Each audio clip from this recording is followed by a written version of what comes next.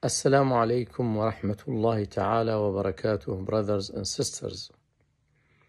May Allah subhanahu wa ta'ala save our community and our ummah and all humanity from this and every calamity.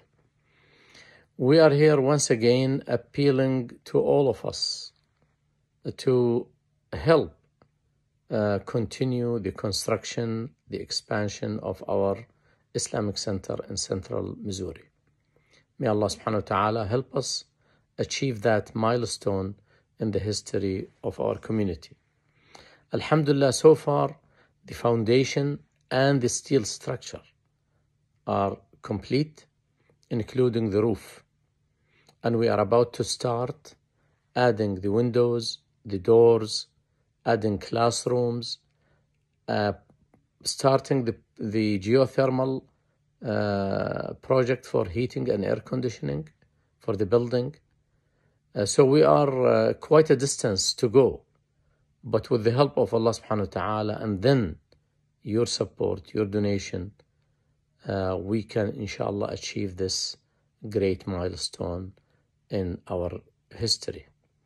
Allah subhanahu wa ta'ala has promised us that He will give us a great reward by saying, آمنوا بالله ورسوله.